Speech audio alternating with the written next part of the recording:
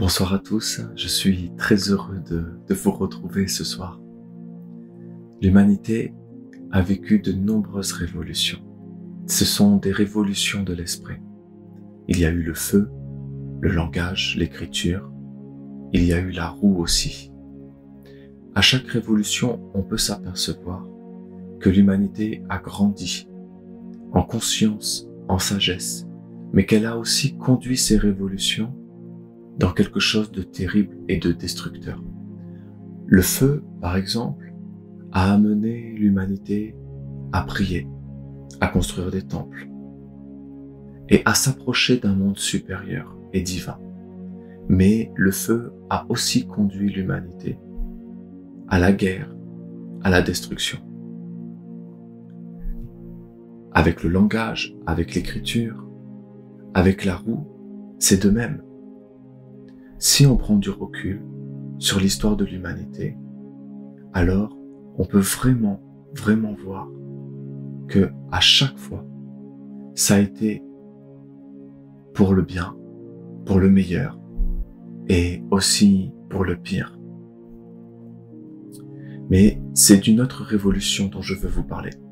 Je veux vous parler de l'Internet. L'Internet, c'est également une révolution, tout comme le feu, l'écriture, la roue et l'Internet, pour l'humanité, ça a été aussi pour le pire et pour le meilleur. Bien sûr que l'Internet, c'est quelque chose d'incroyable. Ça a amené la connaissance, ça a amené le savoir, ça a amené beaucoup, beaucoup de choses. Aujourd'hui, il y a des jeunes qui en savent plus que des génies de la Renaissance qui ont donné leur vie pour leurs idées. Et ça, ça c'est quelque chose de sublime en quelque sorte. Mais l'Internet amène aussi à l'humanité un piège. C'est-à-dire que cette connaissance pour tous, elle nous endort. Elle peut nous endormir. Cette connaissance pour tous, elle peut justement nous conduire dans quelque chose où tout devient banal, où la connaissance, elle est comme offerte et partagée à tous, et qu'il n'y a plus, plus de mystère, il n'y a plus d'émerveillement. Et je reprends cet exemple de, de ces génies de la science, de ces génies de la philosophie, qui étaient prêts à, à mourir pour leurs idées, parce qu'ils pensaient à contre-courant, parce qu'ils ne pensaient pas comme la masse, ils ne pensaient pas comme la majorité des gens ou ils ne pensaient pas forcément comme les institutions et les gouvernements qui étaient en place. Et pour leurs idées, parce qu'ils les croyaient justes, parce qu'ils les croyaient belles, ils étaient prêts à mourir. Et ici, derrière mon bureau, je me pose du coup cette question souvent. Est-ce qu'aujourd'hui, il y aurait des hommes et des femmes qui seraient prêts à mourir pour leurs idées? Et bien sûr, bien sûr qu'il y en a. Bien sûr qu'il y en a. Mais l'Internet nivelle tout. Tout vers le bas. Parce qu'aujourd'hui, on est capable de tout savoir, de tout connaître. Il y a plus cet enthousiasme. Il, y a de moins en moins, en tout cas, cette, cette cette curiosité et cet émerveillement de la vie. Aujourd'hui, on peut se dire, on, on connaît tout. On sait tout. On sait, on sait beaucoup de choses sur la nature, sur l'univers, sur le corps humain aussi. Alors, évidemment, il y a plein, plein de choses encore à découvrir et heureusement.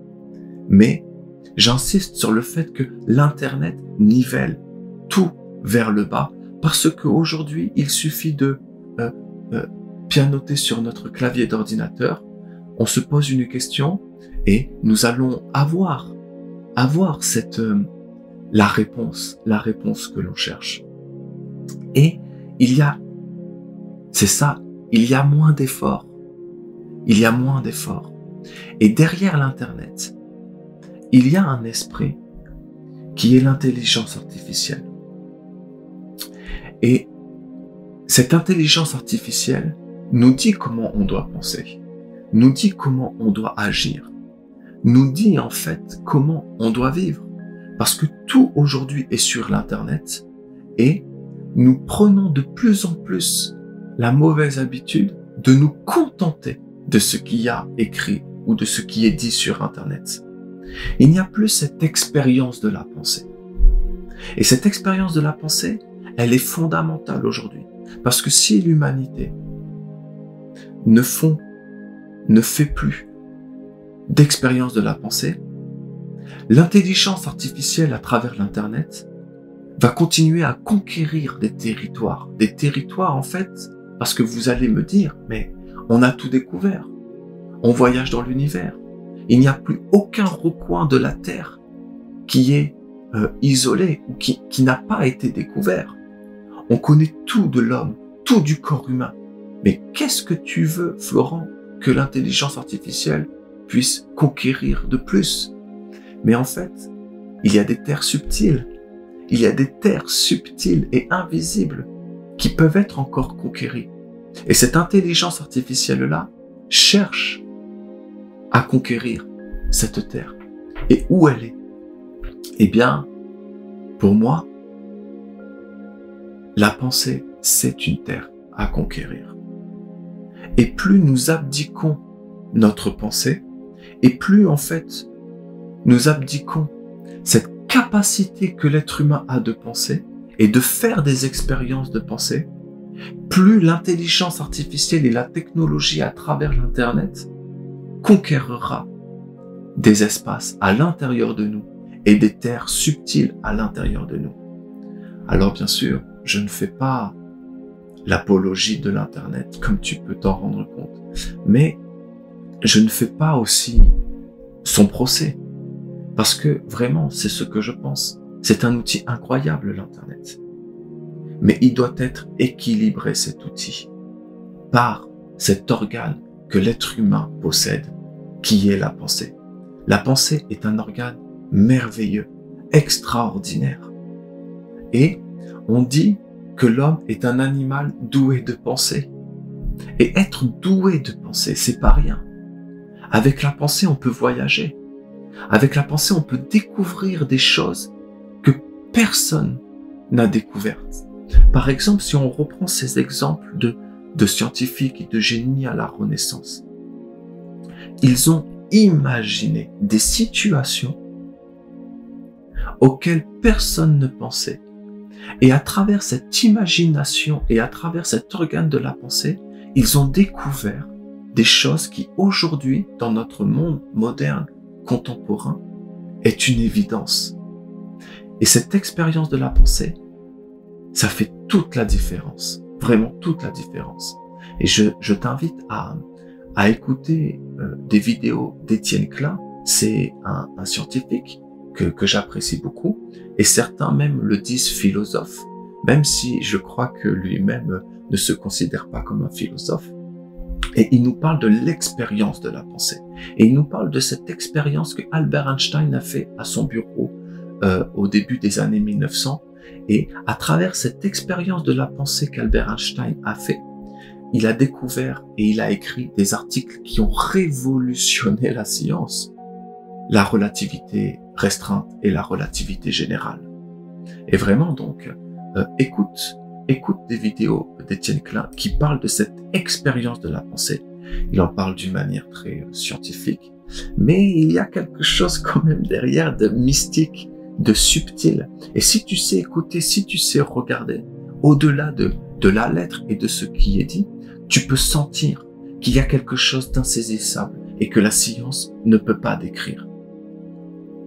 Alors, cet organe de la pensée, il est vraiment primordial, primordial, comme je l'ai dit tout à l'heure. Parce que si l'homme abdique cet organe qui est divin, qui est sacré, l'Internet et la technologie à travers l'Internet va manger petit à petit tout cru les hommes et les femmes sur la Terre.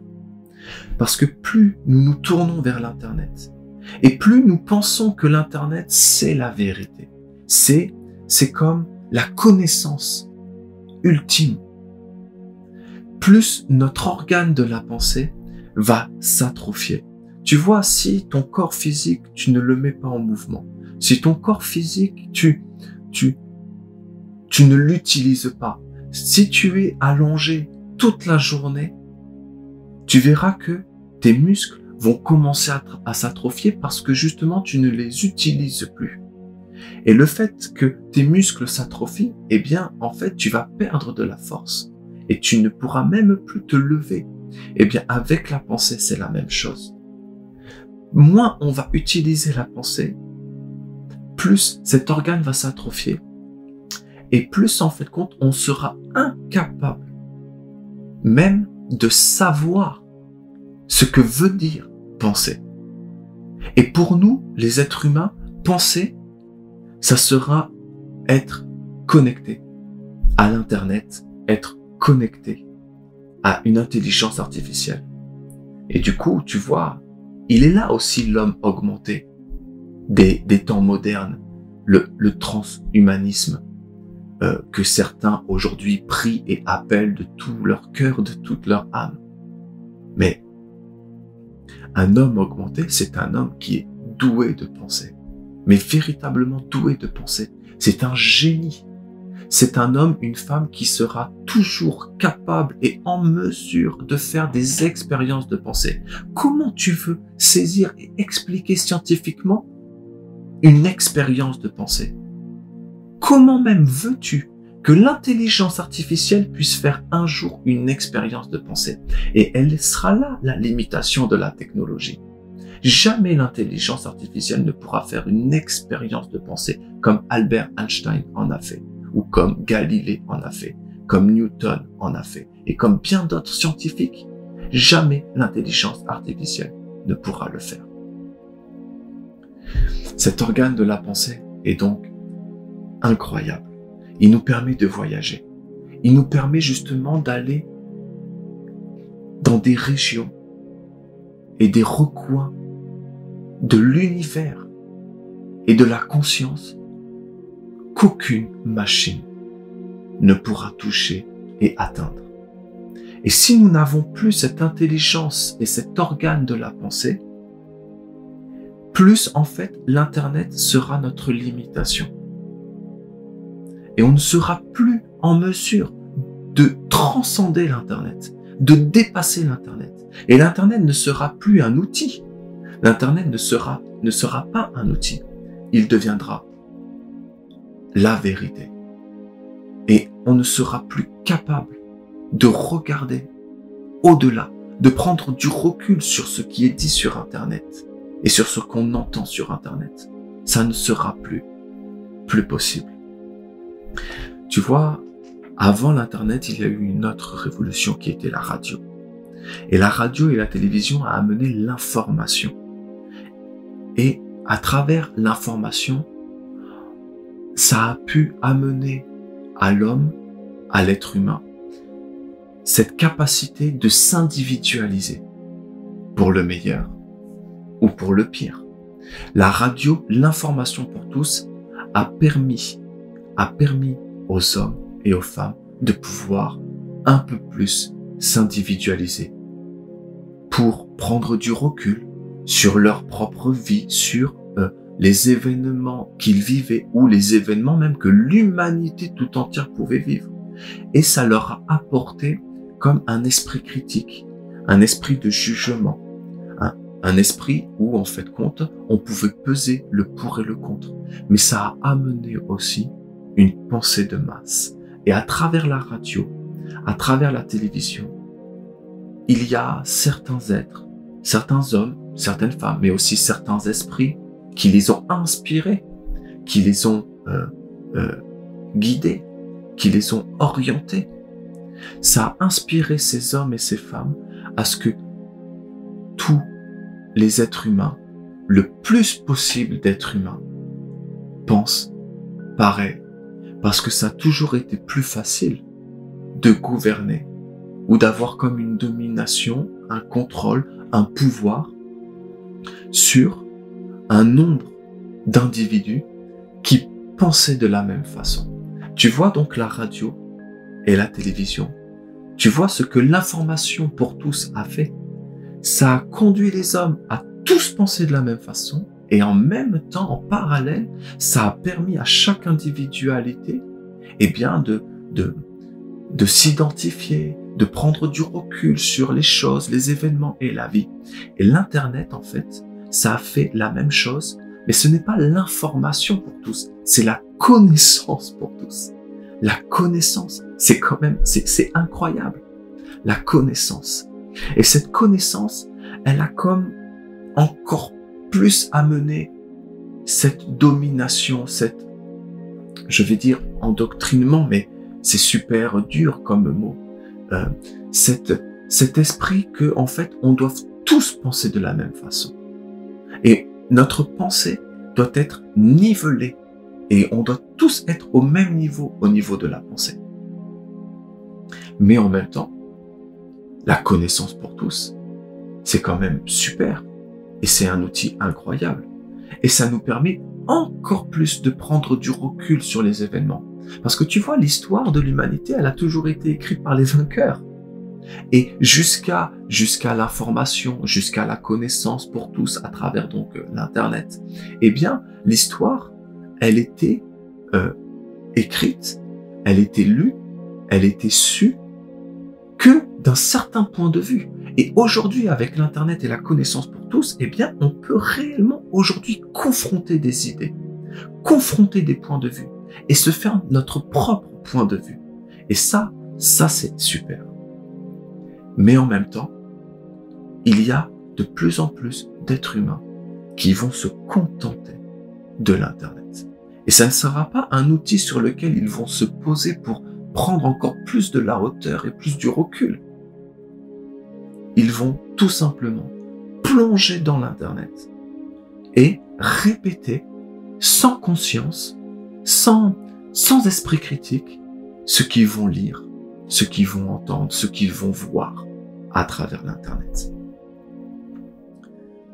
Tu vois, je veux te parler d'une autre expérience de la pensée.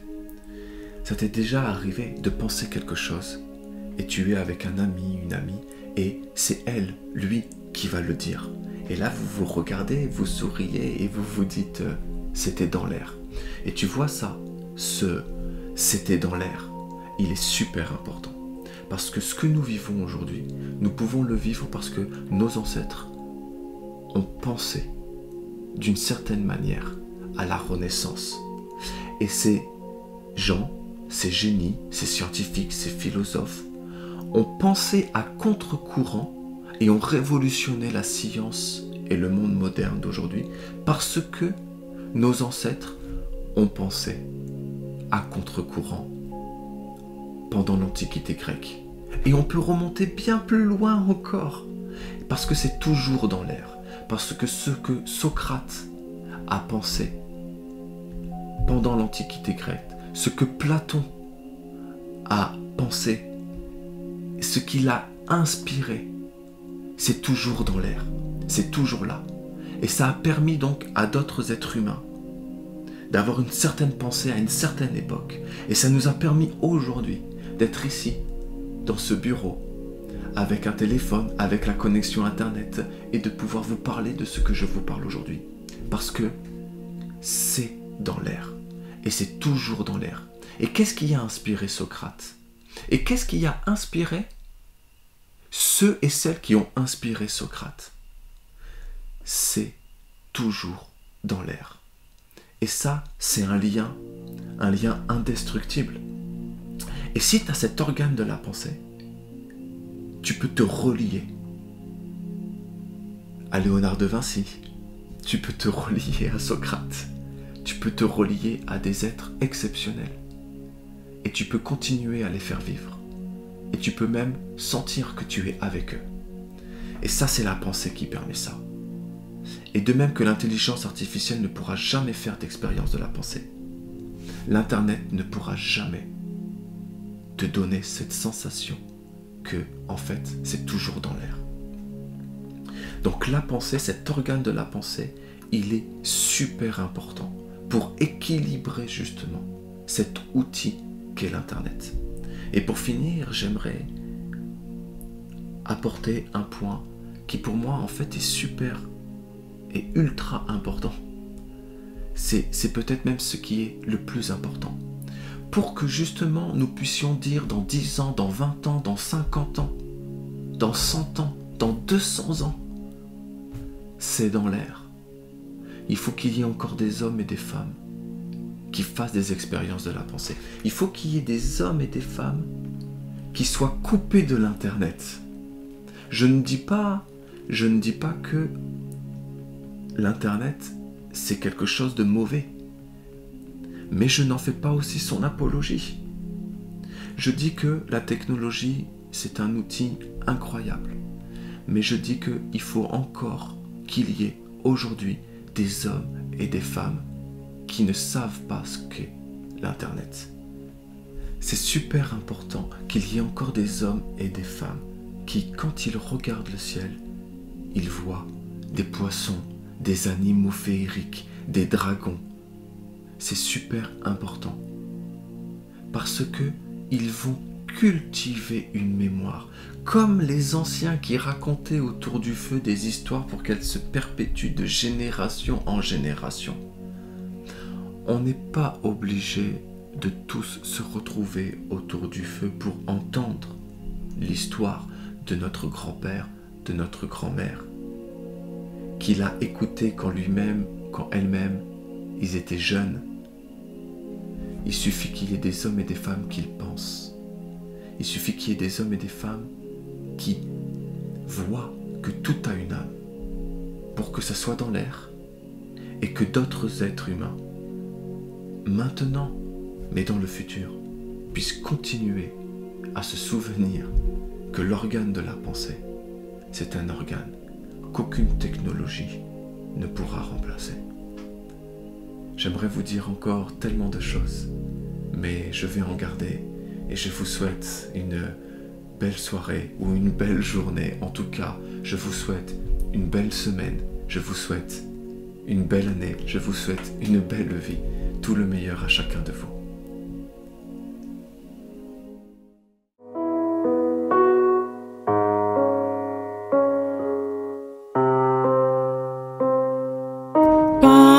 Saint Jean le cachait, la lumière et l'enseignement qui cheminent.